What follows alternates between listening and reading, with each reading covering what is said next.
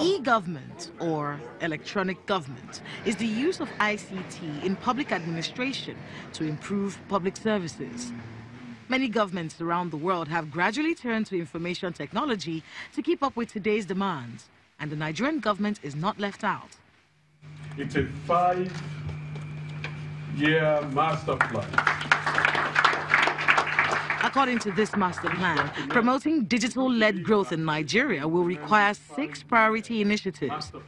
The establishment of a presidential committee on ICT and e-government, developing a capacity-building program, creating an e-government promotion fund, enacting laws necessary for e-government, establishing a standard software framework for e-government, and implementing e-procurement.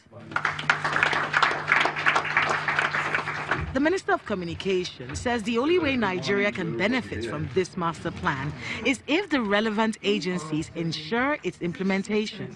Both the office of the uh, head of service and that of the SGF must take active part in enforcing the utilization of e-government all across board.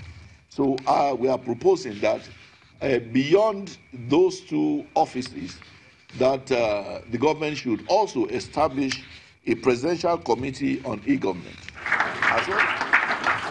The Secretary to the Government of the Federation, represented here by his Permanent Secretary Cabinet Affairs Office, says the implementation of the master plan is important to the Buhari administration as it will restore Nigeria's economic growth.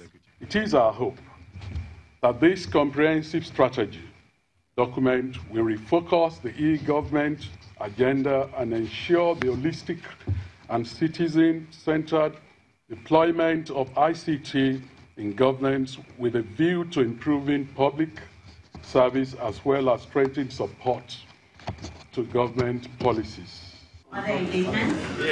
I believe there will be a There have been several attempts in the past at implementing an e-governance policy in Nigeria with varying levels of success.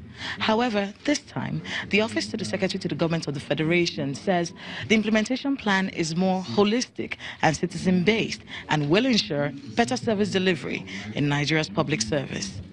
Kayla Magwa, Channels Television News.